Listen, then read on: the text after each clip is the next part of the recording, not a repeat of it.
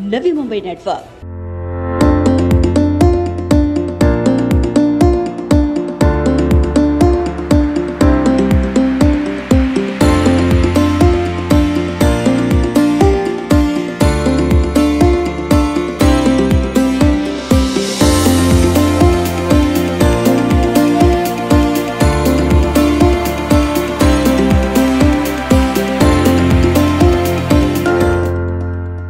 वाशी प्रभाग क्रमांक 60 का प्रतिनिधित्व करने वाले पूर्व उप महापौर अविनाश लाड़ फिर एक और बार नवी मुंबई में पहली बार एक अनोखी संकल्पना को साकार करते हुए वाशी जूहू चौपाटी में स्वर्गीय मीनाताई ठाकरे उद्यान में बुगजानिया नामक नए थीम पार्क लेकर आ रहे हैं। अविनाश लाड़ द्वारा अथक प्रयत्नों से जूहू चौपाटी का काया पलट कर उसे पर्यटक क्षेत्र में तब्दील करने की दिशा में ये बुगजानिया बेहद कारगर साबित होगा।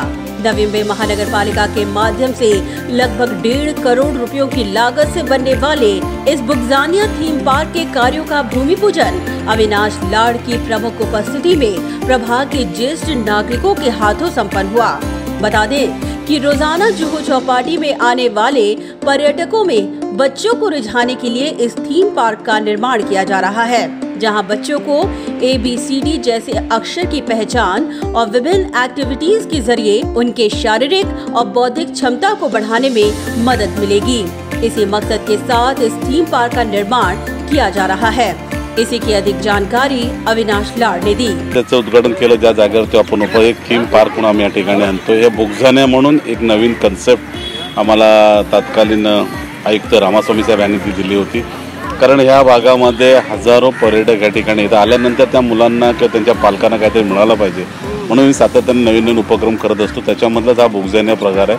आणि रामास्वामी साहेबांनी पास केला. आर्किटेक्ट आसिम गोकर्ण तिच्या कल्पनेतून झालेला आहे. याच्यामध्ये मुलांसाठी ए बी सी डीचा कार्यक्रम आहे. त्याचप्रमाणे मुलांना खेळण्यासाठी एक वेगळा ॲट्रॅक्टिव्ह म्हणजे श- जे A B C D alphabetical आहे त्या अल्फाबेटिकलच्या माध्यमातून इकडे एक गार्डन डेव्हलप येणार आहे. जेणेकरून मुलांना अक्षराची ओळख होईल आणि त्यांना खेळायचा आनंद होईल. अशा प्रकारचे युनिक थीम घेऊन आपण हे गार्डन या ठिकाणी डेव्हलप करतो त्याचा शुभारंभ आज आम्ही या ठिकाणी केलेला आहे. इतना ही नहीं प्रभाग के नागरिकों ने भी इस अनोखे कॉन्सेप्ट के साथ बनने वाले थीम पार्क के कॉन्सेप्ट को लेकर अविनाश लाड के कार्यों की सराहना की। थीम पार्क ही पण कल्पना खरोखरीच नाविन्यपूर्ण आहे.